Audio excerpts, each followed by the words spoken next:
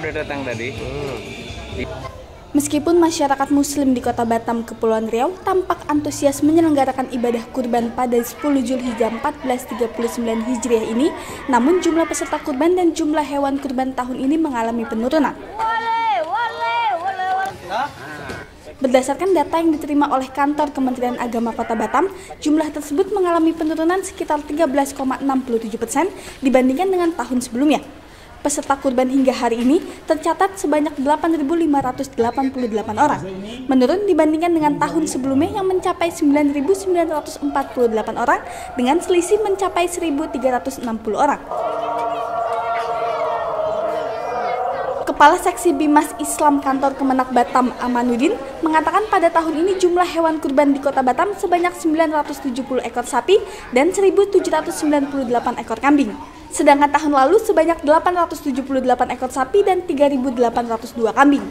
Hewan kurban paling banyak di Kecamatan Sagulung sebanyak 190 ekor sapi dan 395 ekor kambing.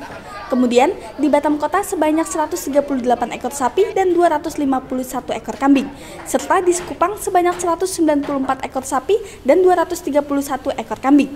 Namun jumlah pada data yang diterima ini bisa saja berubah, sebab hari tasyirik untuk pelaksanaan kurban masih berlangsung hingga hari Sabtu esok. Sapi dulu itu ada 970 ekor, kemudian untuk kambing itu ada 1798.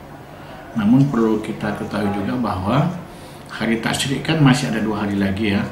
Dan di hari tasyrik ini masih kita masih disunahkan untuk penyembelihan. Jadi bisa saja nanti ada tambahan-tambahan. Jadi kalau kita lihat sekarang ini sekitar uh, dari jumlah yang ada ini baru sekitar 97 persen lah. Akan masih ada lagi yang menyusul di hari-hari tasrik. Saya kira seperti itu. Uh, untuk titik lokasi itu ada di 541 titik itu ada di tersebar di masjid-masjid kemudian ada juga yang mengambil tempat di lapangan kemudian dibawa ke masjid kembali untuk pemantauan pelaksanaan ibadah kurban ini, kantor Kemenak Kota Batam menggandeng beberapa yayasan, penyuluh, dan kantor urusan agama di setiap kecamatan agar pembagian hewan kurban merata di Kota Batam dan pulau-pulau sekitarnya. Koordinasi itu dilakukan agar tak terjadi penumpukan daging di tempat tertentu dan seluruh masyarakat dipastikan mendapatkan pembagian daging hewan kurban ini. Dari Batam, Kepulauan Riau, Tim Liputan Tribrata TV, salam Tribrata.